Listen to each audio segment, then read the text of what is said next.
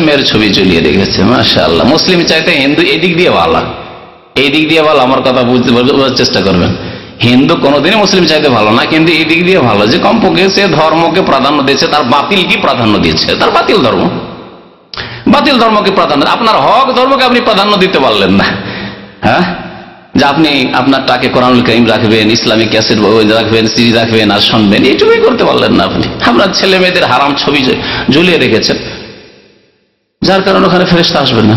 যাই হোক এরকম যদি মূর্তি ছবি থাকে, তাহলে কর্মকর্তাদের জানিয়ে দিতে পারেন। এর জন্য আমার সাথে যোগাযোগ করতে পারেন। হাইয়াতুল আমরিবিল মারুফ, এখানে আছে। কোনো, এখানে কোনো ভিলাতে, কোনো বিল্ডিংয়ে জায়েজ নয় যে এখানে দেবী দেবতীর মূর্তি দেবী দেবী দেবতার মূর্তি ঝুলিয়ে রাখবে, অথবা আর কারও মূর্তি ঝুলিয়ে রেখে পূজা করবে হ্যাঁ কবর মাজারের হোক, অথবা আরও আরও কিছুরই হোক পূজা করবে, এটি জায়েজ না এখানে নিষেধ আছে। সুতরাং জানিয়ে দিতে পারেন বা আমার কাছ থেকে টেলিফোন নম্বর নিয়ে যেতে পারেন। তারপরে তাদেরকে জানিয়ে দেন, ইনশাআল্লাহ তালা এগুলি এগুলি ফরজ কাজ। যেখানে অন্যায় হচ্ছে, অন্যায় বাধা দিতে হবে, হাত দ্বারা বাধা দিতে হবে, হাত দ্বারা আমরা পারব না, কথার দ্বারা বাধা দেবো, আমরা কথা পৌঁছে দেবো মালিক কর্মকর্তাদের কাছে যে এরকম অন্যায় কাজ হচ্ছে, দেবী দেবতার পূজা হচ্ছে করে আর শেষ স্তর হচ্ছে যে অন্তর থেকে ঘৃণা করে বাধা দেওয়া। কিন্তু আলহামদুলিল্লাহ মুখে বলার তৌফিক আছে। সৌদি আরবে যদি মুখে বলে অন্যায় বাধা না দেবেন, তো দেশে গিয়ে কি করবেন আপনি?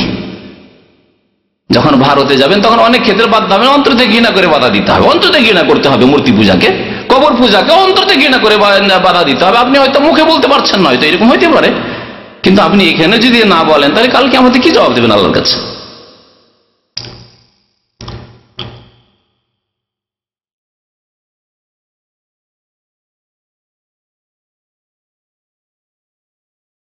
বলছে, এটা আমি বাধা দিই, কিন্তু বাধা মানে না। বাধা মানবে কি? আপনি তো পাপ করেছেন, ছবি ঝুলিয়ে রেখেছেন। ছবি হচ্ছে শিরকের কারণ, সে আপনার ছেলের ছবি হোক আর যাই হোক।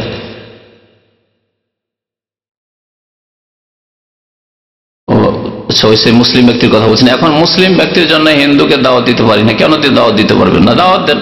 ইসলামকে দেখে মুসলিমকে দেখবে না। ইসলাম কবুল করতে হবে। ইসলাম দেখে মুসলিম দেখে নাই। ইসলামের যে আদর্শ আমাদের কাছে আছে, তাদের কাছে হিন্দু আদর্শ নেই। হিন্দু ধর্ম কি? হিন্দু ধর্ম দেবী দেবতার পূজার সমষ্টির নাম। হ্যাঁ? সুতরাং আদর্শ দেখে সে ইসলাম গ্রহণ করবে ব্যক্তি দেখে না।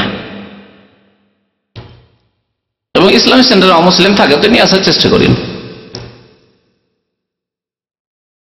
এ অবস্থায় মানুষকে উপদেশ দেবেন যে মুসলিম ফাসেক ছবি ঝুলিয়ে রেখেছে, তাদেরকে উপদেশ দেবেন। আর অমুসলিম যে দেবী দেবতার ছবি ঝুলিয়ে রেখে যদি সেখানে প্রণাম করে, নমস্কার করে, আর যদি সকাল সন্ধ্যা যদি এইসব করে, তাহলে জানিয়ে দেবেন কর্মকর্তাদেরকে। জি। صلى الله على نبينا محمد وعلى آله وصحبه بسم الله الرحمن الرحيم. ومن أحسن قولا ممن دعا إلى الله وعمل صالحا وعمل صالحا وقال إنني من المسلمين.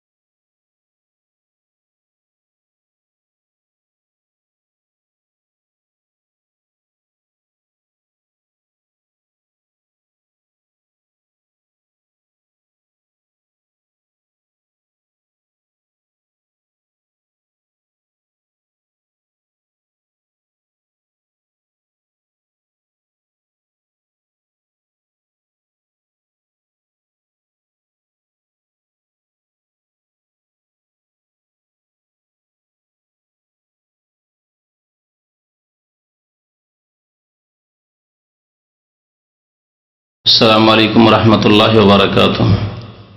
إن الحمد لله نحمده ونستعينه ونستغفره ونعوذ بالله من شرور أنفسنا ومن سيئات أعمالنا. من يهده الله فلا مضل له ومن يضلله فلا هادي له.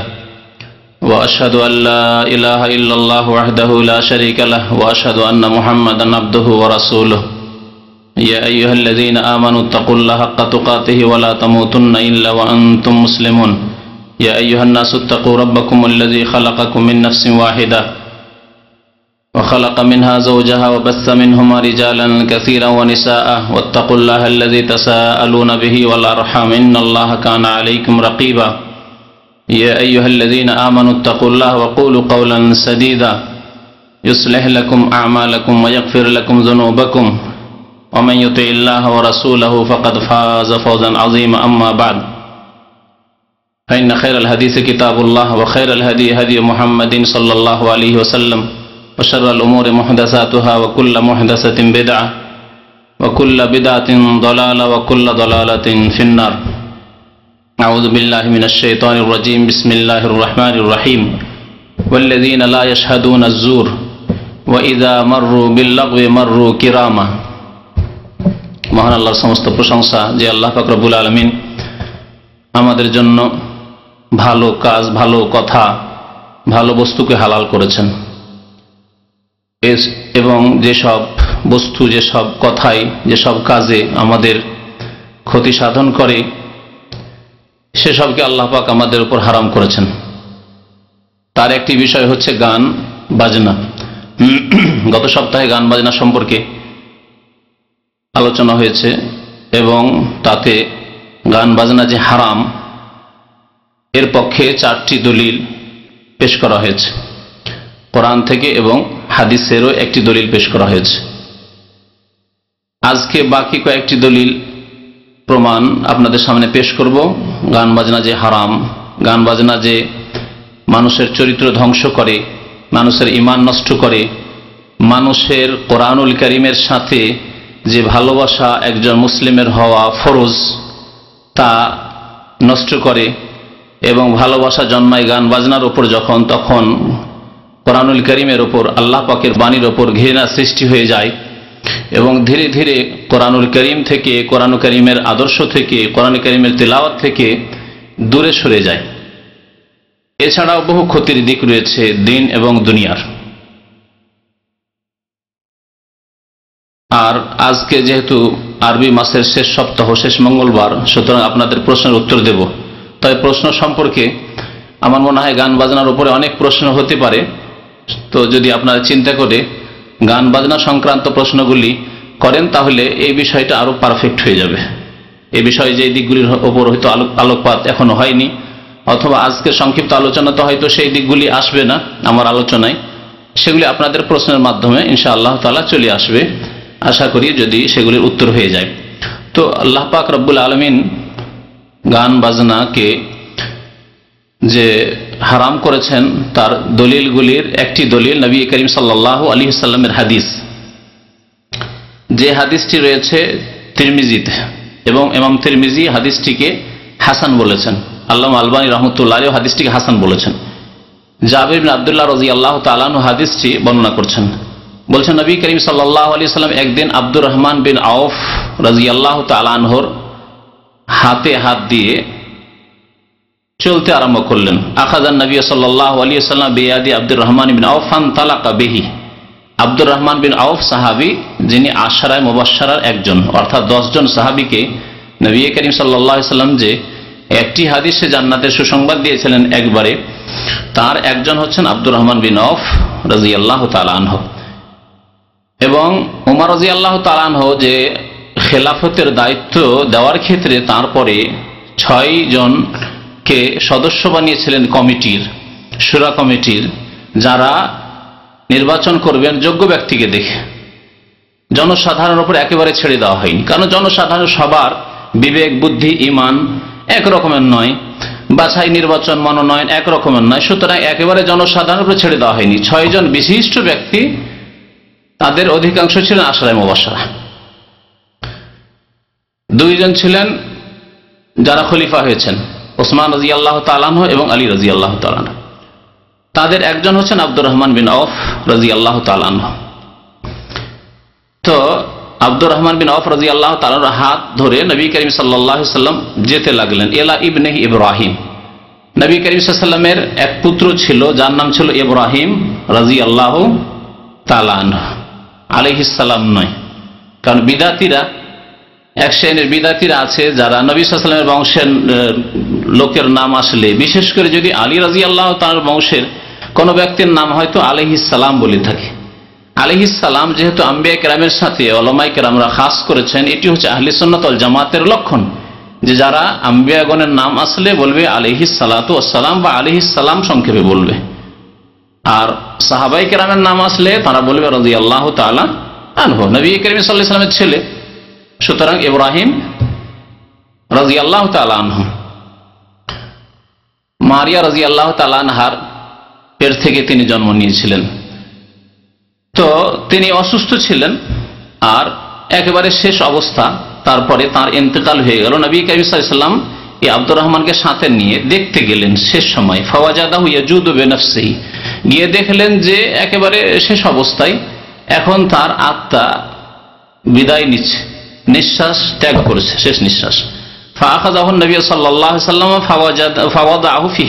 সাল্লাহ তাকে কোলে নিয়ে বসলেন, ফাবাকা এবং কেঁদে ফেললেন সাল্লাহ আলী সাল্লাম। নবী করিম সাল্লাম কেঁদে ফেললেন। তাহলে বোঝা গেল যে কারও জন্য কান্না করা, বিশেষ করে মৃত ব্যক্তির ওপর কান্না করা যায় যাচ্ছে কিন্তু চিৎকার করা যায় নাই। চোখের কান্না বিনা আওয়াজে এটি হচ্ছে শরীয়ত সম্মত নবী করিম সাল্লাহ সাল্লামের কান্না এসেছে। কারণ এটি হচ্ছে প্রাকৃতিক বিষয়। নবী সাল্লামকে যখন সাহাবারা জিজ্ঞাসা ইয়া রাসূলুল্লাহ, আপনিও কাঁদেন? এই ঘটনাতে জিজ্ঞাসা করেছেন সহি বুখারিতে রয়েছে। তখন নবী সাল বলেছিলেন যে, ইন্নাহা রাহমা এটি হচ্ছে দয়া, যা মানুষের অন্তরে আল্লাহ পাক সৃষ্টি করেছেন। এটাকে বাধা দেওয়া যায় না। আপন জনের এতেকাল হয়েছে, আপন জনের দুর্ঘটনা হয়েছে বা কিছু হয়েছে, তাতে কান্না আসা এটি স্বাভাবিক। ইন্নাহা রাহমা। আল্লাহ পাক মমিন বান্দাদের বা মানুষের অন্তরে যা দিয়েছেন। ফকাল আল্লাহ আব্দুর রহমান আতাব কি, আব্দুর রহমান আওয়াজ জিজ্ঞাসা করলেন যে, আপনিও কাঁদেন ইয়া রাসূলুল্লাহ? আওয়ালাম আওয়ালাম তখন নাহাইতে আনিল বোকায়ে, আপনি কি কান্না থেকে নিষেধ করতেন না? কারণ এর আগে হাদিস মনে রয়েছে আব্দুর রহমান অফ রাজি আল্লাহ তালাম যে নবী করিম সাল্লাম কান্না করতে নিষেধ করতেন, কিন্তু কোন কান্না? যে কান্নাকে বলা হচ্ছে নুহা করা, রোদন করা, বয়ান করে সহজ ভাষায় কান্না করা, মৃতের গুণাবলী বর্ণনা করা এবং আওয়াজ করে চিৎকার করে কান্না করা, আছাড় দেওয়া হ্যাঁ শরীর চাপড়ানো, গাল চাপড়ানো, বাবুক চাপড়ানো ইত্যাদি, এসব করা। আপনি কি কান্না করতে নিষেধ করতেন না? নবী করিম না, আমি কান্নাতে নিষেধ করিনি। তবে ওয়ালাকিন আন তবে আমি দুইটি মূর্খদের, নির্বোধদের, বেকুফদের আহমাক, আমাদের ভাষায় আহমক ব্যবহার করা হয় হয় না? মানে লোকটি আহমক। তো দুইটি আহমক বা নির্বোধদের আওয়াজ থেকে, ধ্বনি থেকে নিষেধ করেছি। ফাজের আইনে যে দুইটি ধ্বনি বা আওয়াজ বা কণ্ঠ হচ্ছে ফাসে ফাজেরদের পাপিষ্টদের একটি আওয়াজ তার মধ্যে একটি ধ্বনি বা একটি কণ্ঠ হচ্ছে সৌতুন এন্ডা মুসিবাতিন, কোন বিপদ আপদের সময়, মুসিবতের সময় আওয়াজ করে কান্না করা। তাহলে স্পষ্ট হয়ে গেল যে আওয়াজ করে কান্না করা, এটি হচ্ছে ফাসেকদের কাজ ফাজেরদের কাজ এবং নির্বোধদের কাজ। খামসে ওজুহীন এবং গাল নুচা, মুখমণ্ডল নুচা। অসাক্য জয়ুবিন এবং কাপড় চোপড়কে ফাড়া, বুক চাপড়ানো ইত্যাদি। আর দ্বিতীয় আওয়াজ, দ্বিতীয় ধ্বনি হচ্ছে, ওয়ারান্নাতে শয়তানিন, শয়তানের ধ্বনি আর একটি অর্থাৎ গান বাজনা। নবী সাল্লাম মাজামিরুস শয়তান বলেছেন, ওয়ারান্নাতু শয়তান, শয়তানের বাদ্যযন্ত্র বলেছেন গান এবং বাজনাকে গান এবং মিউজিককে তিরমিজির হাদিস। তো এই হাদিস দ্বারা স্পষ্ট হয় যে গান, বাজনা শরীয়তে হারাম।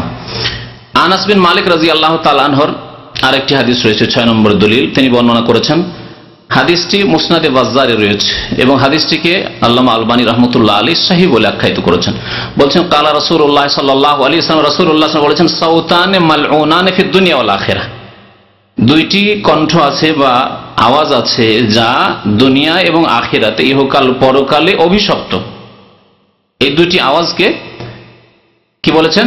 মালাউন বলেছেন, অভিশপ্ত বলেছেন। মিজমারুন এন্দা নেমা, খুশির সময়, উৎসবের সময়, খুশির দিনে যে কোনো সময়, যখন খুশি হয় মানুষের। বিজয়ের খুশি বিজয় মিছিল যারা করে, পার্টির লোকেরা, রাজনৈতিক দলের সাথে জড়িত যারা এইরকম অন্যান্য খুশি, বিবাহ সাদীর খুশিতে অনেকেই গান বাজনা করে। মিজমারুন এন্দা নেমা, গান বাজনা করা, খুশির সময়, সুখের সময় নেয়ামতের সময়, অর্থাৎ সুখের সময়। রান্নাতুন এন্দা মুসিবা, এবং মুসিবতের সময় কান্নাকাটি করা, চিৎকার করে। এই দুইটি আওয়াজ হচ্ছে কি বললাম? মালাউন অভিশপ্ত। অর্থাৎ ওই ব্যক্তির ওপর, এই আমলের ওপর আল্লাহ পাকের লানত রয়েছে দুনিয়া এবং আখেরাতে আর একটি হাদিস রাসুল্লাহাম বর্ণনা করেছেন, ইবিন আবি সাহেবা মুসান্নাফ ইবিন আবি সাহেবা একটি কিতাবের নাম হাদিসের। এগুলি কতব সিত্তা, যেগুলিকে আমাদের দেশের মানুষ সিহা সিত্তা বলে, সেগুলি ছাড়া বহু হাদিসের কিতাব রয়েছে যেই কিতাবগুলির। একটি কিতাব হচ্ছে মোসান্নাফ ইবিন আবি সাহেবা একজন মহাদেশ ছিলেন ইবিন আবি সাহেবা তার লিখিত কিতাব। বলছে ইন্নাফি ওম্মাতি খাসফান ওয়া মাসখান ওয়া কাজফান। আমার উম্মতে কিছু লোককে মাটিতে ধসিয়ে দেওয়া হবে, ভূমিকম্প হয়ে আমার উম্মতের কিছু লোক ধ্বংস হয়ে যায়, মাটিতে পুঁতে ধ্বংস হবে। ওয়ামাসখান এবং তাদের রূপ বিকৃত করে দেওয়া হবে। রূপ বিকৃত করে দেওয়া হবে। যেমন ইহুদিদের মধ্যে, বনি ইসরায়েলদের মধ্যে হয়েছিল, আল্লাহ পাক বলছেন, কোন কেরাদাতান খাসাইন বানর হওয়ার ঘটনা আল্লাহ বর্ণনা করেছেন। ওয়াজা আলামিন হুমুল কেরাদাতান খানাজিরা, তাদের মধ্যে কিছু লোককে আল্লাহ পাক বানর বানিয়েছিলেন, আর কাউকে আবার শুকুরও বানিয়েছিলেন। তো এই উম্মত কিছু লোককে রূপ বিকৃত করে দেওয়া হবে। পরমারা বলেছেন যে রূপ বিকৃত করে দেওয়ার অর্থ রূপ বিকৃত করে দেওয়া, বাহ্যিক অর্থই নেব আমরা। হতে পারে। কখন হবে, কোনখানে হবে, কোন পাপের ওপর হবে, আল্লাহ পাক ভালো জানেন। কিন্তু এই হাদিসে বলা হয়, যে পাপের ওপর হবে, যেগুলি পাপের, তার মধ্যে একটি পাপের কথা এখানে উল্লেখ করা হয়েছে। আর আরেকটি রূপ বিকৃত হচ্ছে, মানুষের প্রকৃতি বা অন্তর বিকৃত হয়ে যাওয়া। মুসলিম পরিবারে জন্ম নিয়েছে। অনেক সময় আলেম পরিবারে জন্ম নিয়েছে, অনেক সময় হাজি সাহেবের পরিবারে জন্ম নিয়েছে, অনেক সময় বাবা, দাদা, এরা ভালো সব দিনদার, ধার্মিক, কিন্তু তাদের অন্তর এমন বিকৃত হয়ে গেছে যে খ্রিস্টান ইয়াহুদির চাইতে নিকৃষ্ট। এটি হচ্ছে মাসখুল কুলুব। তাহলে মাস্ক মানে শুধু এই নয় যে রূপ চেহারা বিকৃত হয়ে যাওয়া, অন্তর বিকৃত হয়ে যাওয়া। ভালো থেকে একেবারে খারাপ, নিকৃষ্ট হয়ে যাওয়া, এটিও উদ্দেশ্য করা যেতে পারে, যেমন অনেক আলমরা এই হাদিসের ব্যাখ্যা করেছেন। ওয়াকাজফান এবং পাথর বর্ষণ করে তাদেরকে ধ্বংস। কাজাফা মানে কোন জিনিস নিক্ষেপ করা। তো আল্লাহ পাক পাথর বর্ষণ করেও এই উম্মতের কিছু লোককে ধ্বংস করবেন। বা আরও কিছু বর্ষণ করতে পারেন। বৃষ্টিও বর্ষণ হয়। জি। আগুন বর্ষণ হইতে পারে। আগুন বর্ষণ করে আল্লাহ রব্বুল আগের জাতিকে ধ্বংস করেছেন। কালু ইয়া রাসূল আল্লাহ সাহাবারা জিজ্ঞাসা করে হে আল্লাহ রসুল ওহম আল্লাহ ইলাহা অথচ ওরা লা ইলাহা ইল্লাল্লাহ পড়বে? আল্লাহ ছাড়া কেউ সত্য মাহবুদেন এই কথাও বলবে, কালেমা তহিদের সাক্ষী দেবে? ফকাল আল্লাহ হ্যাঁ। তারপরেও তাদেরকে আল্লাহ পাক রব্বুল আলম এইভাবে আজাব দেন, কাউকে ধ্বংস করবেন, ভূমিকম্প দিয়ে কাউকে ধ্বংস করবেন পাথর বর্ষণ করে কাউকে ধ্বংস করবেন, তাদের রূপ চেহারা বিকৃত করে বা অন্তরকে বিকৃত করে। এজা জাহারাতেল মাআজেফু আল খমুর ওয়া লুবসুল হারির। এই তিনটি পাপের কোন একটি পাপ যখন যে কোনো সমাজে ব্যাপক আকার ধারণ করবে, জাহারা। প্রকাশ্যে হবে। দেখেন, পাপ দুই রকম হয়। এক হচ্ছে অপ্রকাশ্য, গোপনে ঘরের মধ্যে হচ্ছে। অনেক পয়সাওয়ালার রয়েছে। তাদের ঘরের ভিতরে কি পাপ হচ্ছে না হচ্ছে আল্লাহ পাক জানে এবং তারা জানে। বাইরে তাদেরকে দেখি, মুসলমান মসজিদে আসে, নামাজ পড়ে, ইসলামের খেদমত করে। আমরা বাহ্যিকটা দেখব, তাদের ভিতরের খবর আমরা বলতে পারব না, তার হিসাব আল্লাহ পাক নেবেন। যেমন মানুষের অন্তরের ভিতরে কথা বলতে পারব না, বাহ্যিক দেখছি, লোক মুসলিম, নামাজ পড়ে, কোনোদিন বাহ্যিক কোনো ফাঁসেকে বড় পাপ দেখে না, বা ইসলাম থেকে বহিষ্কৃত হয়ে যাবে, এরকম কোনো গোনা দেখে না, সে আমাদের মুসলিম, ভাই। অন্তরে মোনাফেকি আছে না কি আছে, তার অন্তর ভালো না মন্দ, তা আল্লাহ পাকের জন্য ছেড়ে দেন। ঘরের মধ্যে কি হচ্ছে, না হচ্ছে এইরকম কল্পনা জল্পনা করে অনেক ফাসিক লোকেরা, পাপি লোকেরা অন্যদের সম্পর্কে মন্তব্য করে যে এদের বাড়িতে পাপের শেষ নেই। কি করে জানলেন? তাদের বাড়ির কাছেও যেতে পারেন না কোনোদিন। কি করে জানলেন তাদের বাড়িতে কি হয় আর না হয়? এটা হচ্ছে গোপনীয় পাপ। আর প্রকাশ্য পাপ হচ্ছে রাস্তাঘাটে হচ্ছে, গার্ডেনে, পার্কে হচ্ছে, বিচে হচ্ছে, মার্কেটে হচ্ছে হ্যাঁ?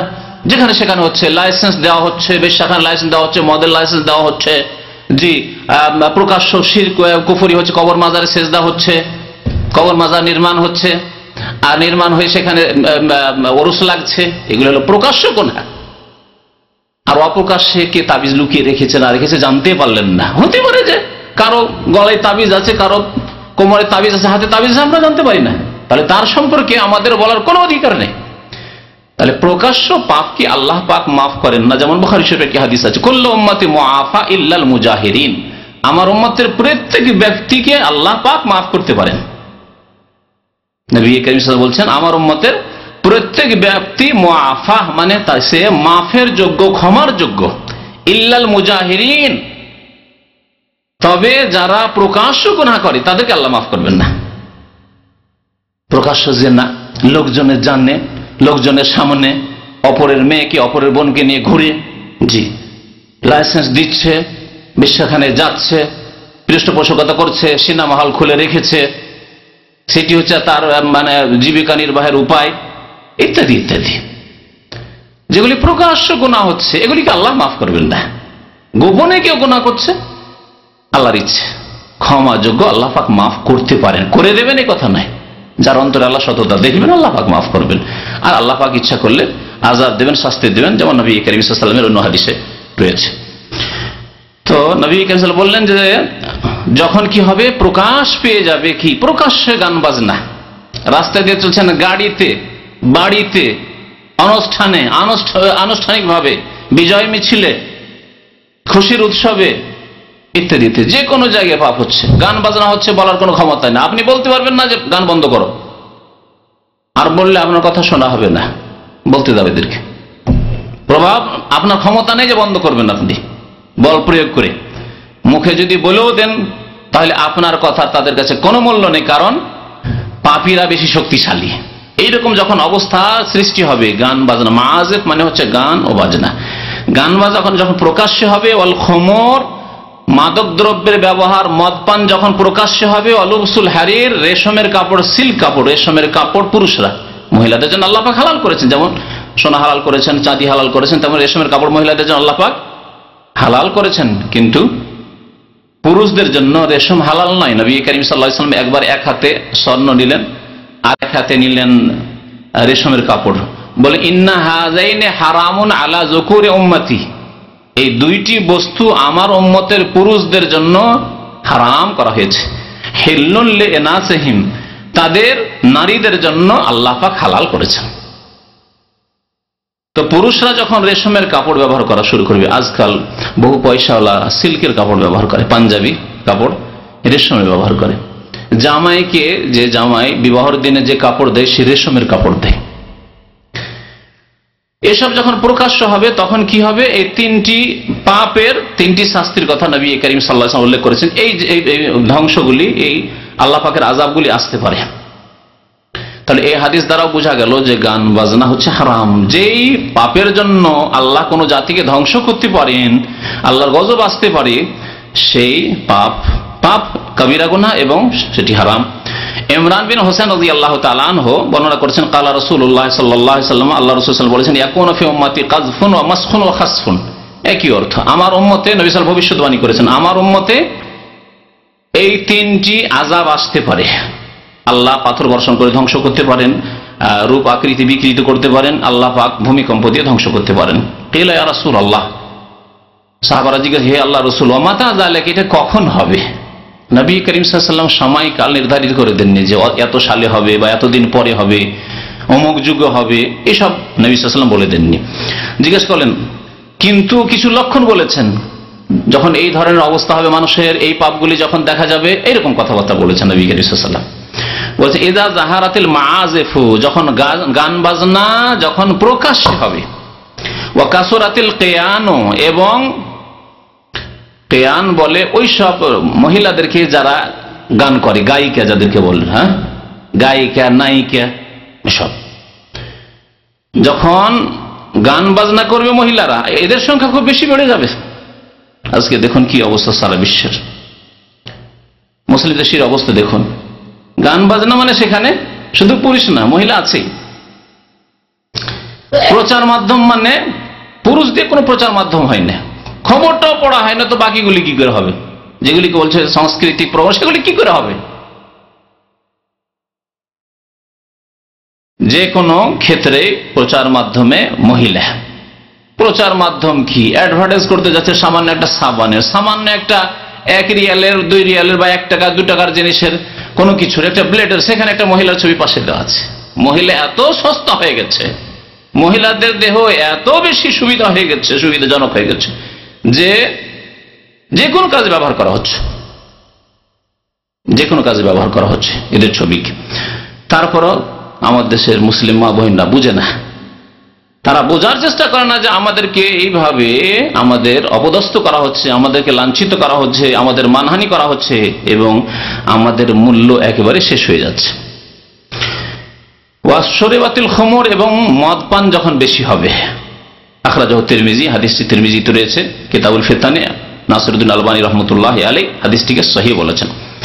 নয় নম্বরের দলিল নবী করিম সাল্লাহ আলি সাল্লাম থেকে আবু মৌসা আশারি আবু মালিক আশারি রাজি আল্লাহ তালা বর্ণনা করেছেন, কালা রসুল্লাহ আশরাবান্না নাসুমিন উম্মাতিল খামরা আমার উম্মতের কিছু লোক মদ পান করবে। তাহলে এই উম্মতে লোকেরা মদ পান করবে হারাম হয়ে যাওয়ার পরে, নবী সাল্লামের সাহাবাহিক যখন হারাম হওয়ার কথা শুনলেন, হারাম হারাম।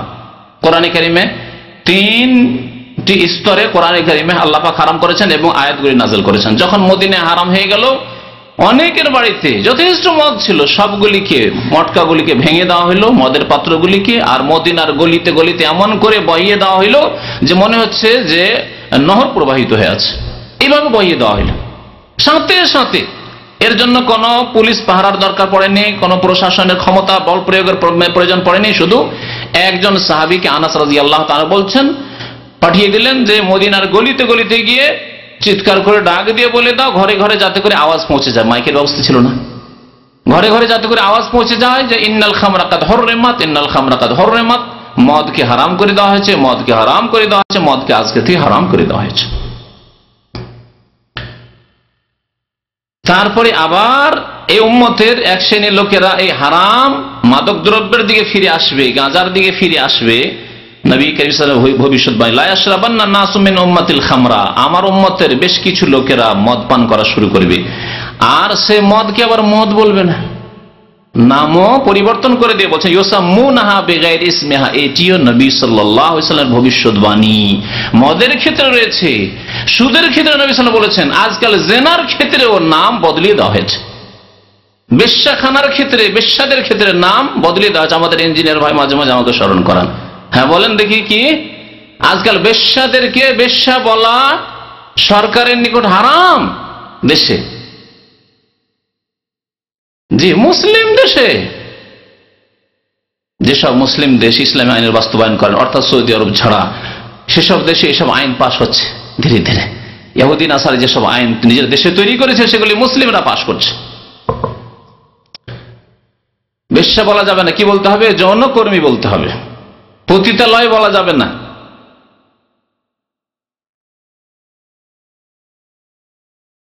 তো নবী সাল্লাম বলছেন যে, নাম তারা পরিবর্তন করে দিবে। আপনারা জানেন যে আজকাল সুদের নাম বদলে দেওয়া হয়েছে ইন্টারেস্ট বা আরও অন্য অনেক কিছু নাম বদলে দিয়ে নতুন নতুন নাম আসছে, আসতে পারে। তারপরে আপনার মদের নাম তো যারা জানেন, আমার চাইতে বেশি জানেন, মদের নাম পাল্টে দেওয়া হচ্ছে মদের নাম মদ না বলে আর কিছু হ্যাঁ? তো এই নাম পাল্টে দেওয়া হবে। যাতে করে লোকের মধ্যে যে মদ বললে ঘৃণা আসে, খামার বললে ঘৃণা আসে, এই ঘৃণা না থাকে।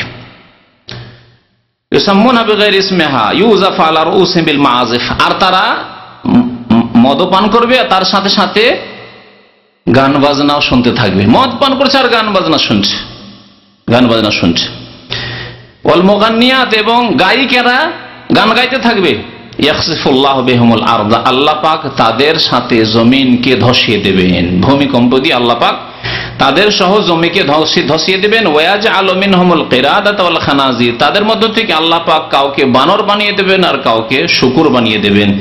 রবাহ ইবনু মাজা, হাদিসটি ইবনু রয়েছে। আল্লাহ নাসিউদ্দিন আলবানী রহমতুল্লাহ হাদিসটিকে সহি বলেছেন। তাহলে এই মর্মে বেশ কিছু হাদিস রয়েছে। তিরমিজিতে, ইবনে মাজাতে আর অন্যান্য হাদিসে। মোসনাদ আহমদে আরেকটি হাদিস রয়েছে, নবী করিম সাল্লাম বলছেন, ইন্না রব্বি তাবারাক দশ নম্বরের দলিল। আমার আল্লাহ পাক, ইন্না রব্বি তাবারাক আল্লাহ তাবারাক আমার রব, হাররামা আলাইয়াল খামরা আমার জন্য, আমার উম্মতের জন্য মদকে হারাম করেছেন। হারাম হারাম করেছেন। আর কি বল কুবা কুবা বলে বাদ্যযন্ত্রকে। বাদ্যযন্ত্রের মধ্যে জানেন একটা কে ছোট কালো সুন্দর ডুগডুগি বলে। শুনেছেন কি? হ্যাঁ। তো এই কুবা ওর হচ্ছে আরবি। তো বাদ্যযন্ত্রকে আল্লাপাক কি করেছেন? আমার রব হারাম করেছেন, স্পষ্ট দলিল। নবী সাল বলছেন, ইন্না রব্বি হারামা। আমার রব হারাম করেছেন। ওয়াল টিন্নিনা এবং গায়ক গায়িকাদের পেশা, যে গান গেয়ে রুজি রোজগার করবে, পয়সা উপার্জন করবে, তা আল্লাহ হারাম করেছেন। তারপরে নবী সাল্লাম ওয়াইয়াকুমাল গোবাইরা, তোমরা মদ থেকে বিশেষ মদ বলা হয়তো সেই যুগে চীনার এক ধরনের দানা ছোটকালে দেখেছি চীনা জানি না এখন উৎপাদন হয়তো হয় না চীনার দানা ছোট ছোট দানা হয়। তা দিয়ে ওই প্রাচীন যুগে ওরা মদ তৈরি করত যেমন আঙ্গুর দিয়ে হয় আর চীনা দিয়ে হতে পারে আর অন্য অন্য কিছু দিয়ে আজকে ভাত দিয়ে হচ্ছে। তো চীনা দ্বারা তৈরি হতো বলে, সাবধান তোমরা এসব যে দেশে যেসব দিয়ে মদ তৈরি হয় সেসব উৎপাদন করবে না। কারণ যদি উৎপাদন হয় তাহলে যারা মদ খায় বা মদ যারা তৈরি করে তারাও ওইসব আপনার কাছ থেকে কিনে নিয়ে গিয়ে মদের কাছে লাগাবে। আমি এক এলাকায় এক জামানায় মাদ্রাসায় শিক্ষকতা করতাম, তো সেখানে তালের গাছ খুব বেশি খুব বেশি। আমার দেশের বাড়ি থেকে চল্লিশ কিলোমিটার দূরে। এত বেশি তালের গাছ, উঁচু এলাকা। তো জানি না ওইসব এলাকাকে বরিন্দ্র এলাকা বলে না কি বলে। তো তালের গাছ খুব বেশি। তালের গাছে হয় কি? তালের গাছে ওরা হারাম কাজ করে। তালের গাছের তারি হয় রস। তো এই রসকে ভালো কাজে কেউ ব্যবহার করে না, এলাকার দেখলাম। মুসলিম ঘরে ঘরে তারা ওই তালের রসকে টক করে, খাট্টা করে মদ বানিয়ে খায়। মদ বানিয়ে খায়। আর এলাকার যতগুলি অমুসলিম আছে, হিন্দু আছে, সাঁওতাল আছে, আদিবাসী আছে, ওরা ওই কাজ ওই পেশা করে। মুসলিম অমুসলিম সবাই খায়। জি? তো যে কোনো গাছে হোক, তো তাল গাছ থেকে ওই যে রসটা হয়, রসকে অধিকাংশ লোকেরা তারি বানায়। তো যে এলাকাতে দেখা যাচ্ছে যে তাল গাছে, আমার তাল গাছ আছে আর সেই তাল গাছের রস আমি যদি বিক্রি করি, যারা কিনে নিয়েছে তারা মদ তৈরি করবে, তাহলে আপনার জন্য তাদের কাছে বেচা যায় নাই। তবে জানা যদি না থাকে, তাহলে আপনাকে জিজ্ঞাসা করা জরুরি নয় যে কি কাজে লাগাবে। কিন্তু যাদের পেশায় জানছে যে এরা মদের ব্যবসায়ী, তাদের কাছে বিক্রি করা এমন কিছু জায়েজ নয় যেগুলি হারাম কাজে লাগবে। শুধু এই ক্ষেত্রে না এমনকি শিরকের কাজে। এমন কিছু খাবার রয়েছে যেগুলি প্রাসাদ পেশ করা হয় মন্দিরে। পুজো পাঠের ক্ষেত্রে যদি জানেন যে পূজার মৌসুম চলছে এবং এটা নিচ্ছেই বলে যে পূজার প্রাসাদ পেশ করব, তাহলে জায়জ নয় আপনার জন্য, বাতিলের জন্য সাহায্য সহযোগিতা করা, কারণ আল্লাহ ফাকরবুল আলম নীতিমালা নির্ধারণ করেছেন, ওয়ালা তাআওয়ানু আলাল ইসমে ওয়াল উদওয়ান। গোনার কাজে এবং সীমা লঙ্ঘনের কাজে কেউ কারও সাহায্য করিও না। একটি হাদিস দিয়ে শেষ করছি। তারপরে আর দু একটি কথা বলবে গান বাজনা সম্পর্কে। নাফে আবদুল্লাহ বিন ওমর রাজি আল্লাহ তালানো ছাত্র ছিলেন এবং আজাদকৃত, স্বাধীনকৃত গোলাম ছিলেন, দাস ছিলেন। বলছেন যে একবার আবদুল্লাহ বিন ওমর রাজি আল্লাহ তালানো দ্বিতীয় খালিফা আমিরুল মমিনের ছেলে এবং প্রখ্যাত তিনি আলেম ছিলেন সাহাবাইকরামদের মধ্যে। অনেকে আবদুল্লাহ বিন ওমরকে খালিফা বানাতে চেয়েছে ওমর রাজি আল্লাহ তালানোর পরে। কিন্তু ওমর রাজি আল্লাহ তালানো ওসিয়ত করে গিয়েছিলেন যে আমার পরে আমার ছেলে যাতে খলিফা নয় সম্ভাবনা ছিল বলে।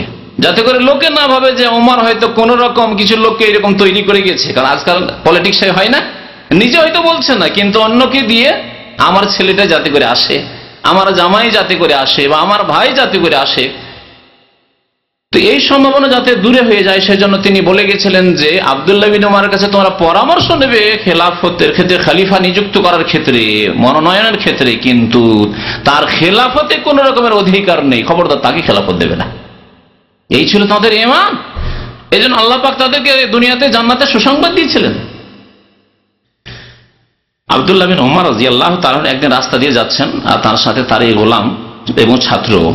গোলাম ছিলেন আজাদ করে দিয়েছেন এবং তিনি দিন শিখে বড় আলেম হয়েছিলেন। সাহাবাই তাবেনদের জামানে বড় বড় যারা দাস, গোলাম ছিল, তারা বড় বড় আলেম হয়েছিল। বড় বড় ফাঁকি হয়েছিল তারা। তো একদিন আব্দুল্লাহ রাদিয়াল্লাহু আনহু রাস্তায় বাদ্যযন্ত্র শুনতে পেলেন, গান বাজনা, মিজমার গান বাজনা শুনলেন।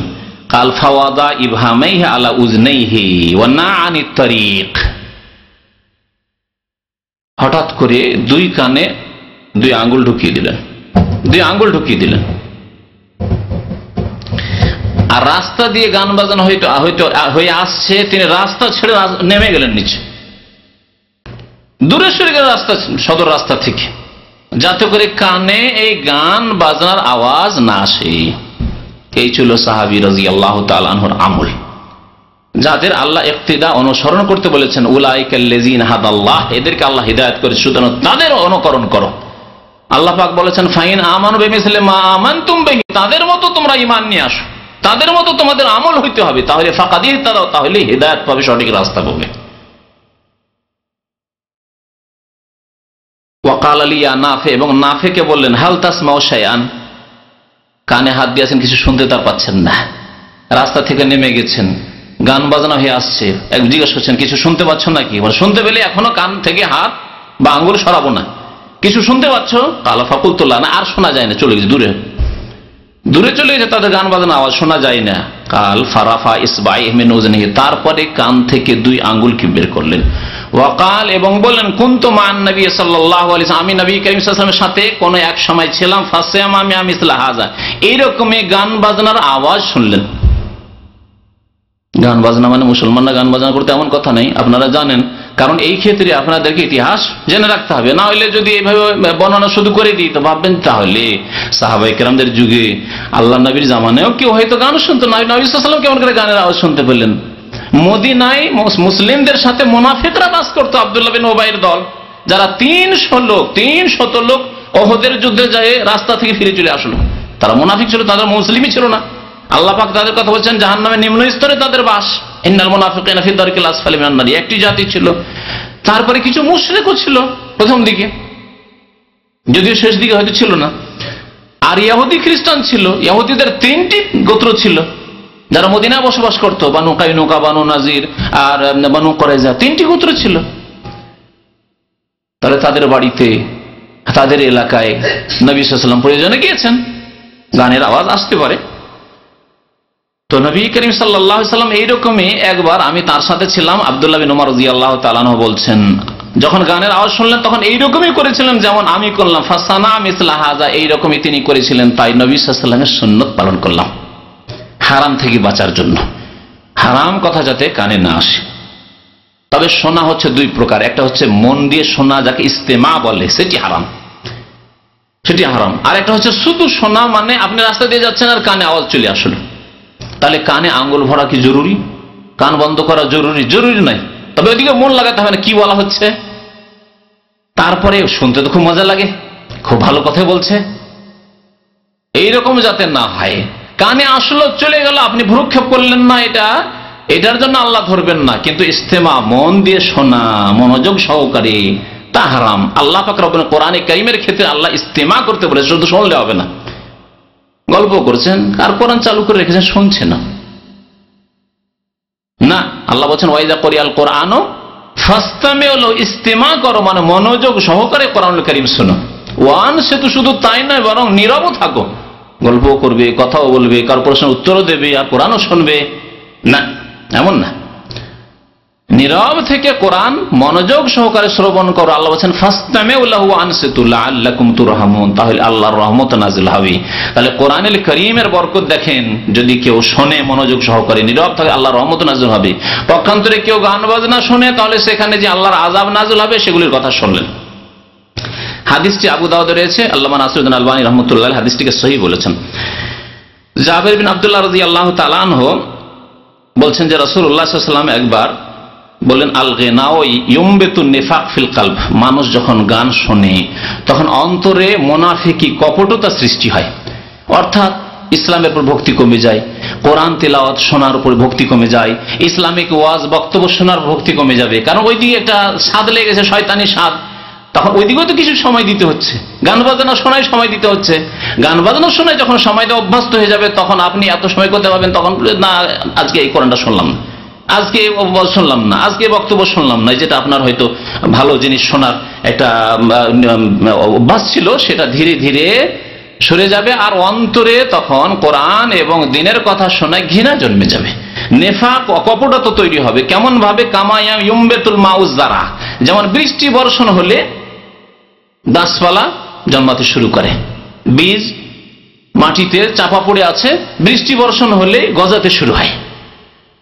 ঠিক তেমনি মানুষের অন্তরে মোনাফেকি জন্মাতে শুরু করবে, গজাতে শুরু করবে, যখন গান শোনা শুরু করে। অমাইয়া বংশের এক রাজা ছিলেন, যার নাম ছিল ওলিদ। ওলিদ। তিনি একবার অমাইয়া বংশের লোকদেরকে সম্বোধন করে বললেন বাদশাহের মধ্যে অনেকের মধ্যে ভুল ত্রুটি ছিল, নিষ্পাপ ছিল না। কিন্তু তারা দেখতো যে আমাদের যেখানে ক্ষতি আছে, সেখানে তো সজাগ থাকতে হবে। কেউ নিজের পরিবারের ক্ষতি চায় না, নিজের বংশের ক্ষতি চায় না, নিজের ছেলে মেয়েদের ক্ষতি চায় না। এই জন্য অনেকেই গোনার কাজ করে, কিন্তু ছেলে মেয়েদেরকে দূরে তাড়িয়ে দেয়। এরকম কিছু লোক আছে পাপি আছে। আবার কিছু লোক এর চাইতে আগে বেড়ে আছে। যারা স্বামী, স্ত্রী ছেলে মেয়ে সব নিয়ে দেখছি তো, সবাই দেখছি ফিল্ম। গান শুনছি, বাজনা শুনছি, সবাই শুনছি। এইরকম মুসলমান আছে আজকাল। তো এই ওলিদ বাদশাহ বলছি, ইয়া বানি ওমাইয়া হে ওমাইয়া গোত্রের লোকেরা ইয়াকুমাল গেনা, সাবধান, তোমরা গান বাজনা থেকে বেঁচে থাকবে। গান বাজনা শুনবে না। রাজাদের মধ্যে কত ভোগ বিলাস ছিল ওমাইয়াদের যুগে। তারপরেও তিনি সতর্ক করছেন, নিজের বংশের লোকদেরকে সাবধান গান বাজনা থেকে। কারণ তার ক্ষতি কি শোনেন? কয়েকটি ক্ষতির কথা শুরুতে বলেছে, এখন শুনে ফাইন না হই ইয়ান কসুল হায়া। কারণ গান বাজনা শুনলে নির্লজ্জ হয়ে যায় মানুষ, বেহায়া হয়ে যায়। লজ্জা সরম কমে যায়। ওয়াজিদ ফিসাহুয়া আর যৌন চাহিদা বৃদ্ধি পায়। গান বাজনা শুনলে যৌন চাহিদা বৃদ্ধি পায়। এর বাস্তব ঘটনা কয়েক বছর আগে এক এক যুবক ছেলে এসে আমাকে মাসলা জিজ্ঞেস করেছে, সেটি। এক যুবক ছেলে এসে বলছে যে, আমার দ্বারা কুকাজ হয়ে গেছে জেনা ব্যবচার হয়ে গেছে। উজবিল্লাহ আমি বললাম যে তোবা করার জন্য বাবা, আমাকে বলতে হইতো না। আমাদের কাছে তোবার তরিকা ওই পীরদের ভণ্ডরদের তরিকা নাই যে, কোনো পীরকে, আলেমকে, হুজুরকে ধরতে হবে আর বলতে হবে, আমি গুণা করি, সুতরাং আমাকে তবা করি দেন। না। আপনার তবা কবুলকারী আল্লাহ পাক, সুতরাং আপনি নির্জনে একা আল্লাহকে বলবেন। এটি হচ্ছে তবার রাস্তা। সাথে সাথে বললাম, তোমাকে তবার জন্য কি শর্ত লাগে তা জানো, কিন্তু কি পাপ করেছে এটি বলা কখনো কাউকে বলবে না। একমাত্র আল্লাহকে বলে কাঁদবে এবং তবা করবে। বলেই ফেলেছে সে যে এই কাজ করেছে। কীভাবে? বলছে যে আমি, আমার কণ্ঠ খুব সুন্দর, খুব সুরের সাথে মধুর সুরে গান করছি আর মাঠ থেকে আসছি সন্ধ্যাবেলা। অন্ধকার একটু হয়েছে। আর এক বাড়ির পাশ দিয়ে আসছি, সেখানে একটি যুবতী মেয়ে বাড়িতে ছিল। আমার মধুর সুর শুনে বাড়ি থেকে বেরিয়ে চলে এসছে বাড়ির পিছনে। আর এসে ওই মাঠে জমিতে, ফসলের জমিতে আমাদের কুকাজ হয়ে যায়। পাগল হয়ে সেই যুবতী চলে এসছে যে, না, আমার সাথে কুকাজ করতেই হবে। তোমার কণ্ঠ খুব সুন্দর লেগেছে। তাহলে কথা সত্য। যে ওয়াজিদ ফিসা হুয়া গান বাজনা কি করে? মানুষের জন্য চাহিদা বাড়িয়ে দেয়। ওয়াইয়াহাদেমল মরুয়া, ভদ্রতা ধ্বংস করে। মানুষের যে ভদ্রতা রয়েছে, আত্মসম্ভ্রম রয়েছে, এগুলিকে ধ্বংস করে দেয়। ফাইন্নাহুলায়ানুব আনিল খামরে, এবং এই গান বাজনা মদের মতো কাজ করে, মাদক দ্রব্যের মতো কাজ করে। মাদক দ্রব্য শরীরকে নিশাগ্রস্ত করে, শরীরে অঙ্গ প্রত্যঙ্গকে নিশাগ্রস্ত করে, আর গান বাজনা মানুষের মনকে, হৃদয়কে নিশাগ্রস্ত করে। এই কথাটি ইমাম ইবিন তাইমিয়া রহমতুল্লাহ আলাই তার প্রসিদ্ধ ফাতাওয়ার কিতাব সাঁত্রিশ খণ্ডে রয়েছে, তাতে বলেছেন এখানে ও কথাটি সংক্ষেপে বলা হয়েছে। এখানে ইমাম বাই হাকি এই হাদিসটি বর্ণনা করেছেন বা এই আসারটি বর্ণনা করেছেন এই বাদশার কথা ওমাইয়া বংশের যুগের। সাহবাই কেন্দ্রের জামানার ঘটনা তাবেইনদের জামানার ঘটনা। লায়ানুবাইল খামরে, মদের কাজ করে এই গান বাজনা। ইয়াফ আলো মা ইয়াফ আলো শুক্র। যেমন নিশাগ্রস্ত হয়ে যেসব পাপ হয়, নিশাগ্রস্ত হলে খুন করে দিতে পারে। নিশাগ্রস্ত হলে সেজদা করে দিতে পারে গাইরুল্লাহকে প্রতিমাকে, পুতুলকে যে কোনো মানুষকে চেষ্টা করিতে পারে, একজন মদ খেয়ে পাগল এসে আপনাকে চেষ্টা করিতে পারে। নিশাগ্রস্ত হয়ে এসে স্ত্রী আর মা বোনে কোনো পার্থক্য বুঝে না। মায়ের গায়ে হাত দিতে পারে, বোনের গায়ে হাত দিতে পারে, নিজের যুবতী মেয়ের গায়ে হাত দিতে পারে। এইরকম ঘটনা মদ খরদের বাড়িতে হয়ে ঘটতে থাকে। জেনা তো কোনো ব্যাপারই না। মদ খরদের জেনা হওয়া তো স্বাভাবিক। মদ খাই জন্য যে মদ খেয়ে মাতাল অবস্থায় তারা জেনা করবে। তো নেশাগ্রস্ত হয়ে যে হয়, তাই হয় এই গান বাজনা দ্বারা। ফাইন কুন্তুম লাবুদ্দা ফাইলিন, তারপরে আবার নিজের বংশ, রাজ পরিবারকে সাবধান করছে যে, দেখো, তোমরা গান বাজনা শুনিও না। কিন্তু তারপরেও যদি তোমরা বলো না, আমরা গান বাজনা শুনব, বদ অভ্যাস হয়ে গেছে, তবে শোনো ফাজান্নেসা তোমাদের মহিলাদেরকে শুনতে দিও না। এ বাদশাহ অন্তত আজকালকার যুগের মুসলিম চাইতে চালাক ছিল। অমাইয়া যুগের বাদশাহ আজকালকার যুগের মুসলিম চাইতে অনেক ভালো ছিল। যে কমপক্ষে তোমরা শোনো যে তোমরা নিজেকে কন্ট্রোলে রাখতে পারো, কিন্তু মহিলারা নিজেকে কন্ট্রোলে রাখতে পারবে না, কারণ এরা অত্যন্ত দুর্বল। নবী করিম সাল্লা সাল্লাম এদের মনের কথা বলেছেন কাওয়ারির। এরা হচ্ছে কাঁচের গ্লাস, কাঁচ এরা। কাঁচ বলেছেন এদেরকে। গ্লাস বলেছেন এদেরকে। এদের ভেঙে দিও না। একবার এক সাহাবি সফরে খুব সুন্দর ধ্বনিতে তিনি কবিতা আবৃত্তি করছিলেন। যেই কবিতা, যে ধরনের কবিতা আবৃত্তি করলে উঠ দৌড় দেয় উঠ বুঝে যে আমাকে এখন দৌড়তে হবে। ওটা মেতে উঠে। নবী সাল্লাম সেই সব বলেছেন যে কিছু মহিলারা সফরে আছে, সাবধান। ইয়া আনজাসা লা তাকসিরিল কাওয়ারির আনজাসা ওই সাহাবীর নাম ছিল। সাবধান তুমি, এই কাজগুলিকে ভেঙে দিও না। অর্থাৎ মহিলাদের মনকে একবারে পাগল করে দিও না, তোমার কণ্ঠে পাগল হয়ে যেতে পারে, এদের দ্বারা পাপ হইতে পারে। আল্লাহ আকবর। নবী করিম সাল্লাহ আলী সাল্লাম বলেছেন, সেই মুসলিমের হাদিস এটি। বলছেন, তোমরা যদি একান্তই তোমরা রাজ পরিবার গান শুনতে চাও, তাহলে ফাজান্নিবুহুন্নেসা, তোমাদের মহিলাদেরকে, মেয়েদেরকে, বোনদেরকে গান শুনতে দেবেন না। ফাইনাল গেনা দাইয়াতুজেনা শোনেন, তারপর কি বলছেন এই বাদশাহ বলছেন, কারণ গান বাজনাই হচ্ছে জেনার আহ্বানকারী দাইয়াতুজেনা জেনার আহ্বানকারী। সোয়াবুল ইমান নামক একটি কিতাব রয়েছে, হাদিসের কিতাব, ইমাম বাইহাকি রহমতুল্লাহ তাতে এই আসারটি উল্লেখ করা হয়েছে। ইমাম রহমতুল্লাহ বলেছেন যে, গান বাজনা সাহাবাই কেরাম জামানা ওয়ালাম ইয়াকুন সাহাবাতে ওয়া তাবেইন সাহাবাই কেরাম তাবেইন আইম্মাতুদ্দিন কোন আইম্মাই কেরাম, ওলামাই কেরাম, তারা কোনোদিন গান বাজনা শুনতেন না। মিনমা শাহেখিন যারা দিনের ওলামা হাদাস সামা, এই কথা কেন বলেছেন? ওলামাদের কথা কেন উল্লেখ করলেন? এর উত্তর, গত সপ্তাহের বক্তব্য যদি মনে থাকে তাহলে বলতে পারবেন। গত সপ্তাহে বলেছি যে গান বাজানো শুনে কয় শ্রেণির লোকেরা? দুই শ্রেণির লোকেরা। এক শ্রেণির লোকেরা ধর্মের নামে গান বাজনা শোনে পীরপন্থীরা। এরা মনে করে, গান বাজনা শুনলে আমাদের হাল হবে অস্ত হবে, আমরা আল্লাহ ফানাফিল্লা হইতে পারব ফানাফিস শয়তান হয় আসলে। শয়তান হাজির হয়ে যায়, কিন্তু সেটাকে বলে তারা মানুষকে যে গান বাজনার মাধ্যমে ফানাফিল্লা হইতে পারব। এই এদের অনেক মাজারে, অনেক খানকাতে গান বাজনা হয়। জিকির আজগারের সাথে সাথে গান বাজনা হয়। তারপরে কবিতা শুনে, কাসিদা শুনে এরা। এরা ভালোবাসে ওগুলি। তাই ইমাম রাহমাতুল্লাহ সতর্ক করছেন, ধর্মের নামেও গান বাজনা শুনবেন, তাহলে গান বাজনা ধর্মের নামে বিদ্যার্থীরা শুনে। আর গান বাজনা ফাসেকরা শুনে ভোগবিলাসের জন্য ধর্মের নামে তারা নয়। তাহলে যেটি ধর্ম নয়, যদি ধর্মের নামে পালন করা হয়, সেটি বেশি মারাত্মক। না যেটি পাপ মনে করে করা হচ্ছে সেটি মারাত্মক। ধর্ম নয়, অথচ ধর্ম মনে করে পালন করা হচ্ছে। এটি হচ্ছে বড়ই মারাত্মক, এটি হচ্ছে আল্লাহর উপর মিথ্যা আরোপ করা। আল্লাহ পাক বলেছে, ওর চাইতে বড় জালেম পৃথিবীতে কেউ নেই যে ব্যক্তি আল্লাহর উপর মিথ্যা অপবাদ দিয়ে থাকে। অমান আজলাম মানিফ তারা আল্লাহ কাজিবা আল্লাহ সম্পর্কে মিথ্যা কথাবার্তা বলে আল্লাহর দিন সম্পর্কে মিথ্যা কথা বলে আল্লাহ রসুল সম্পর্কে মিথ্যা কথা বলে। ইসলামের নেই গান বাজনা হারাম আর বলে গান বাজনা না শুনলে আল্লাহকে পাওয়া যায় না। জিকির আজকাল মন লাগে না। হ্যাঁ? আমাদের কেরামতি জাহির হয় না, কাশ পায় না ইত্যাদি। তাহলে তারা সবচেয়ে বড় জালিম আল্লাহ কোরআন করিমে ঘোষণা করেছেন, কারণ এরা হচ্ছে আল্লাহর উপর মিথ্যারোপকারী। লাবিল হেজাজে, না হেজাজে মক্কা, মদিনা, ওয়ালা মিসর, না মেসরে, ওয়ালা শাম, না শাম দেশে, ওয়ালাল ইরাক, না ইরাকে, ওয়ালা খোরাসান, এমনকি খোরাসান আফগানিস্তান আর আজারবাইজান উজবেকিস্তান সেসব দেশেও কোনদিন আলেম ওলামারা না কেউ গান শুনেছে, না শুনতে বলেছে, না জায়েজ করেছে, না ধর্মের নামে, না ভোগবিলাসের নামে।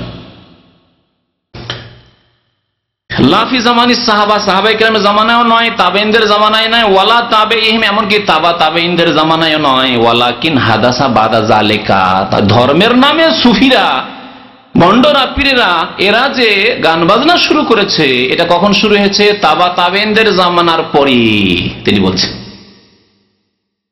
নবী করিম কি বলেছেন? যেটা দিনে নাই, সেটা যদি কেউ পালন করে, সেটা হচ্ছে প্রত্যাখ্যাত। এবং এই বিদাতের পরিণাম হচ্ছে, কুল্ল বিদাতিন দলালা অকুল্ল দলালাতিন ফিন্নার। বিদাত হচ্ছে গুমরাহি পথভ্রষ্টতা, আর পথভ্রষ্টতার পরিণাম হচ্ছে জাহান্নাম। ইমাম ইবনে তাইমিয়া রহমতুল্লাহ আলের আর একটি কথা দিয়ে শেষ করে দিচ্ছি। তিনি বলছেন, ওয়াল মাআজিফু হিয়া খামরুন নুফুস। গান বাজনা হচ্ছে হৃদয়ের মদ। বা হৃদয়ের নিশার বস্তু, হৃদয়ের নিশা এটি, মনের নিশা। তাফালো বিন নফুস আজম তাফালো হমিয়াল কৌস যে মদের গ্লাসে জানা করতে পারে, তার চাইতে বেশি এই গান বাজনা মানুষকে পাপে লিপ্ত করতে পারে। মদের গ্লাস নিয়ে মদ পান করে যে পাপ না হইতে পারে, তার চাইতে বড় পাপ হইতে পারে গান বাজনার মাধ্যমে, কারণ মনে তার নেশা হয়ে গেছে, মনের নেশা হয়ে গেছে। ফাইজা সাকিরুবিল আসওয়াতে কণ্ঠ শুনে, সুর শুনে, গান বাজনা শুনে যখন নেশাগ্রস্ত হয়ে যায়, হাল্লা ফিহিমের শির্ক, তখন তাদের কেউ বা শির করতে লাগে, কবর মাজার পূজা করতে লাগে। ও মালু এলাল ফাওয়াহিসার জেনা ব্যবিচার করতে লাগে। ওয়াইলা জুলমে জুলম অত্যাচার করতে লাগে। ফায়াশরিকুন তখন শির করা শুরু করে। ওয়াক্তুলুন হারাম আল্লাহ ইল্লা বিল হক। হারামকে, কে, তারা যাকে আল্লাহ হারাম করেছেন তখন করে এবং ওয়াজনুর এবং জেনাও করে। গান বাজনা যারা শোনে, এমন নেশাগ্রস্ত হয়ে যায় তাহলে তখন জেনাতেও লিপ্ত হয়ে যায়। ইমাম ইবনে তাইমিয়া রাহমাতুল্লাহ আলাই এই কথাটি তার ফাতোয়ার কিতাবের দশম খণ্ডে উল্লেখ করেছেন। আল্লাহ পাক রব্বুল আলমিন যেন গান বাজনার ফিতনা থেকে আমাদেরকে বেঁচে থাকার তৌফিক দান করেন। আল্লাহ পাক আমাদের অতীতের গুনাহ খাতা যেন মাফ করে দেন। ভুল ভ্রান্তি থেকে, গান বাজনা থেকে, অন্যান্য পাপ থেকে যেসব আমাদের দ্বারা হয়েছে, আল্লাহ যেন আমাদেরকে ফিরে আসার তৌফিক দান করেন। আল্লাহ আমাদের তা যেন মাফ করে দেন। আগামী জীবনকে আল্লাহ পাক যেন সংশোধনের জীবন বানাবার যেন তৌফিক দান করেন। আমিন। ওসল্লাহ নবীনা মোহাম্মদ ওয়ালা আলহি ওসাহাবি আজমাইন। আর একটি কথা শুধু রয়েছে যে গান বাজনা গান বাজনা শোনে যারা, তারা দুই প্রকার বলা হয়েছে। গান বাজনাও বলা যেতে পারে ওই রকমই যে গান বাজনাকে ভাগ করা যেতে পারে। গান বাজনা শয়তানের বাদ্যযন্ত্র বলা হয়েছে। সুতরাং বাজনা হারাম। গান, গানকে অনেক সময় সঙ্গীতের নাম দিয়ে বলে, কবিতার নাম দিয়ে যদি বলেন। তো এই ক্ষেত্রে আমরা বলব যে যদি সংগীত এমন হয়, যেই সঙ্গীতে শিরিক নেই, বিদাত নেই, ইসলাম বিরোধী কথা নেই গঠনমূলক কথাবার্তা রয়েছে। আর তাতে অশ্লীল কথাবার্তাও নেই যৌন সম্পর্কীয় কথাবার্তা নেই। এই কথাগুলি মনে রাখবেন। প্রথম কথা কি বললাম? যে সেসব গানে কি নেই? বাদ্যযন্ত্র নেই, বাজনা নেই। সংগীত বা কবিতা আবৃত্তি করছে কেউ কোনো অনুষ্ঠানে যাতে শির্ক নেই, অতিরঞ্জন বাড়াবাড়ি নেই। নাতে রসুলের নামে যেমন আমাদের সে অতিরঞ্জন বাড়াবাড়ি রয়েছে, নবীকে আল্লাহ পাকের অনেক গুণ দিয়ে তার বয়ান করে। এসব নেই বিদাত নেই, ইসলাম বিরোধী কথা নেই এবং যৌন সম্পর্কীয় কোনো কথা নেই। মহিলাদের কোনো গুণ বর্ণনা করা হচ্ছে না। অনেক কবিতায়, অনেক সঙ্গীতে, অনেক গানে রয়েছে এসব। বরং গান, আজকালকার গান রয়েছে যেগুলি এসব ছাড়া হয় না। এসব যদি না থাকে আর বাজনাও না থাকে, গঠনমূলক কথাবার্তা থাকে, তাহলে সংগীত পাঠ করা যেতে পারে। আপনার কবিতা পাঠ করা যেতে পারে। আমাদের দেশে যেগুলোকে গজল বলে বা এরকম কিছু বলে, সেগুলো পাঠ করা যেতে পারে। পাঠ করা যেতে পারে। দ্বিতীয় হচ্ছে যে আজকালকার যে অধিকাংশ লোকের গান, সেগুলি হচ্ছে অশ্লীলতা ভরা। অশ্লীলতা তাতে রয়েছে। অশ্লীল কথাবার্তা মহিলাদের বিভিন্ন দেহের অবস্থার কথা, অথবা যৌন সম্পর্কে বিভিন্ন কথাবার্তা, এগুলি দিয়ে গান। এক পুরুষ এমনকি কিছু আকর্ষণীয় কথাবার্তা বলছে, তখন তার উত্তরে এক মহিলা আকর্ষণীয় কথাবার্তা বলছে। তো এইরকম যেগুলি কথাবার্তা রয়েছে, এগুলি হারাম, অশ্লীলতার কারণে ফাহেসা অশ্লীল কাজের জন্য হারাম। আর যেসব সঙ্গীতে, কবিতায় কাসিদায় শির্ক রয়েছে, যদিও ধর্মীয় কিতাবে থাকে, যদিও ধর্মীয় অনুষ্ঠানে হয়, যদিও জলসা ওয়াজ মাহফিলে সেগুলি নাচ পাঠ করা হচ্ছে, কিন্তু সেগুলি হারাম, কারণ তাতে রয়েছে শির্ক, তাতে রয়েছে শির্ক। যেমন কিতাবের নাম ধরে বলতে অনেক সময় ইচ্ছা করে না, কারণ যেসব ভাইয়ের ওই সব কিতাবের ভক্ত, তারা খুব কষ্ট পেয়ে যায়। কষ্ট তার উদ্দেশ্য নয়, সংশোধন করার উদ্দেশ্য, তারপরে কষ্ট হয় তাতে আছে যে তারা হামিয়া নবী, আল্লাহ তারা হাম হে আল্লাহ নবী, আপনি দয়া করুন, রহাম করুন। হ্যাঁ নবীর কাছে দোয়া করছে। আছে না? ফাজাইল দুরুদ, কাসিদাই লিখছেন। তাহলে এগুলো শির্ক। শির্কের পাপ বড় না অন্য অশ্লীল কাজের পাপ বড়? শিরকের পাপ বড়, কারণ কোনো দিন গোনা মাফ হবেন আল্লাহ ছাড়া অন্যর কাছে যদি আপনি দোয়া করেন, অন্যকে শেষ দেখান অন্যকে ডাকেন, তাহলে কোনোদিন মাফ হবেন আর ফাহেসা অশ্লীল কাজ, আল্লাহ আজাব দিয়ে মাফ করতে পারেন। অথবা আল্লাহর রহমতে মাফ করে দিতে পারেন। নবীর সাফাতে মাফ করে দিতে পারেন, কিন্তু শিরকের কোনো সাফাতে মাফ হবে না। সাফাত হবে না মুসলিকদের জন্য। তাহলে দুই রকমের গান থেকে সাবধান। এক হচ্ছে শির্ক ভরা, বিদাত ভরা গান, আর এক হচ্ছে অশ্লীলতা ভরা গান। ওই দুই রকমের গান থেকে, দুই রকমের কবিতা থেকে, দুই রকমের সংগীত থেকে পাক থাকেন। বাকি গঠনমূলক যদি কথাবার্তা থাকে, কারণ মানুষ পদ্যকে গদ্য চাইতে বেশি ভালোবাসে, এবং গদ্যের আকর্ষণ চাইতে পদ্যের আকর্ষণ, কবিতার আকর্ষণ বেশি রয়েছে মানুষের এটা স্বাভাবিক।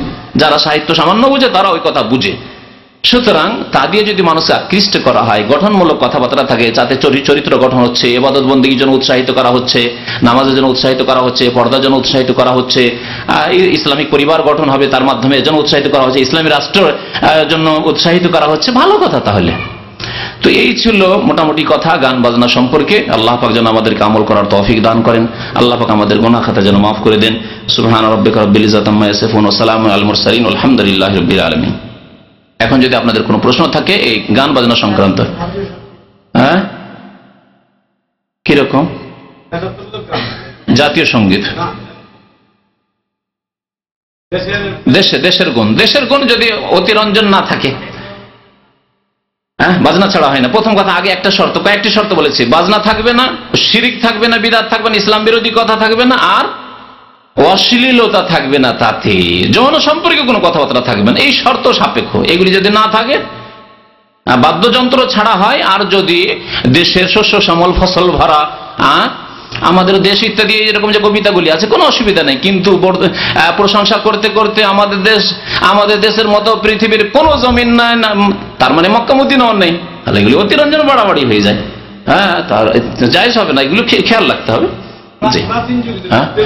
তারপরে প্রত্যেক দেশ যেই দেশের লোক সেই দেশের প্রশংসা করতে করতে গিয়ে মনে করে যে আমার দেশ চাই তার তো এইগুলি বাড়াবাড়ি।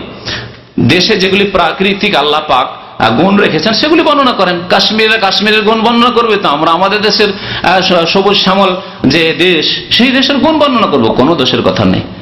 জি। হ্যাঁ? যুদ্ধক্ষেত্রে উৎসাহিত করার জন্য বললাম গঠনমূলক মানে সব কথাই চলে আসবে তার মধ্যে। যুদ্ধক্ষেত্রে কি যুদ্ধ? যদি ইসলামিক যুদ্ধ হয়, তাহলে ঠিক আছে। আর যদি বংশীয় যুদ্ধ হয় হ্যাঁ গোত্রীয় যুদ্ধ হয়, পার্থিব যুদ্ধ হয়, তাহলে এই যুদ্ধ করাই তো জায়েজ নয়। তাহলে যুদ্ধ যুদ্ধের জন্য উৎসাহিত করবেন গান গান দিয়ে। চলবে কি? জায়েজ নয় যুদ্ধ। জেহাদ হিসাবে বলতে পারে, যুদ্ধ না বলে আল্লাহ রাস্তায় জেহাদের আল্লাহ কোনোদিন সুযোগ সুবিধা দিলে সেখানে বলা যেতে পারে যে সেখানে উৎসাহিত করবে। নবী সাল্লাম বলতে আনান নবী আনা ইবনু আব্দুল মুত্তালিব। খন্দকের গর্ত পরীক্ষা খনন করছেন সাহাবাই কেন বলছেন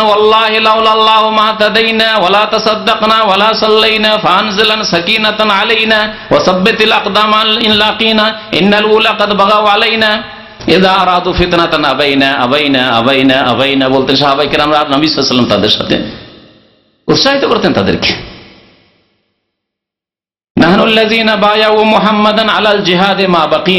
এগুলি বলতেন। বহু কবিতা রয়েছে যেগুলো জিহাদি কবিতা সাহাবাকেরা পাঠ করতেন। এই জন্য আগে বলেছি, গঠনমূলক মানে যে কোনো গঠনমূলক। দিনের ক্ষেত্রে হোক, দুনিয়ার ক্ষেত্রে হোক, গঠনমূলক কথাবার্তা হইতে হবে। কবিতায় তাহলে কোনো অসুবিধা নেই, বাদ্যযন্ত্র থাকবে না, শিরিক থাকবে না, অতিরঞ্জন থাকবে না, অশ্লীলতা থাকবে না। নিন্দা করা, জি, অপদস্থ করা, অপমান করা, যেহেতু গিবত করা হারাম। তারপরে অপদস্থ করতে গিয়ে সীমা লঙ্ঘন হয়। সুতরাং জায়জ নয়। গঠনমূলক বলা হয়েছে তাতে এই কথাও চলে এসছে। এগুলি গঠনমূলক না, ধ্বংসাত্মক। আল্লাহর শত্রুদের আল্লাহর শত্রুদের দোষ ত্রুটি তুলে ধরবে। কিন্তু মমিন বান্দা, মুসলিম বান্দা বা আল্লাহর শত্রু কি করে বানিয়ে দেবেন আপনি তাকে? আপনার কাছে এসে ভুল পথে আছে, সেজন্য আল্লাহ শত্রু সে? না, ভুল কথা। মুসলিম না। মুসলিমদেরকে অপদস্থ করবে না বাকি আল্লাহর শত্রুতা শত্রুতা করার জন্য মুসলিমদের বিরুদ্ধে শত্রুতা নেমে এসেছে। নবী সাল্লাম সেই ক্ষেত্রে সাহাবে কেন অনুমতি দিয়েছেন জি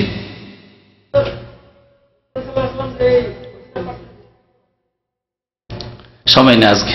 আজকে থাক, ইনশাআল্লাহ তাহলে অন্যদিনে অনেকগুলি কবিতা পাঠ করে দিয়ে তফসির করলে ব্যাখ্যা করলে অনেক সময় লেগে যাবে। নামাজের কথা, রোজার কথা, জেহাদের কথা, বিভিন্ন কথা। সাহাবাহিকের আমরা যে আল্লাহ নবী না আসলে আমরা হেদায়ত পেতাম না, আমরা মুসলমান হইতাম না না নামাজই পড়তে পারতাম না, রোজায় রাখতাম না, সাদকা করতাম, ইত্যাদি। আমাদেরকে রাস্তা দেখেছেন নবী সাল্লাহ আলি সাল্লাম, গঠনমূলক ভালো কথাবার্তা, যে ইসলামী আচ্ছা, আমাদের নাহিদ ভাইয়ের খালু মারা গেছে এবং বলছেন যে আমাদের দাওয়াত কবুল করে আলহামদুলিল্লাহ সিরবিদাতে অবাক করে এসেছিলেন দেশে আছেন অথচ নাকি? হ্যাঁ সুতরাং আল্লাহ যেন তার গুনা খাতা মাফ করেন এবং আল্লাহ ফকরম যেন তাকে জান্নাত নসিব করেন আমি সাল্লাহ নবীনা মোহাম্মদ আলী ওসাহাবি।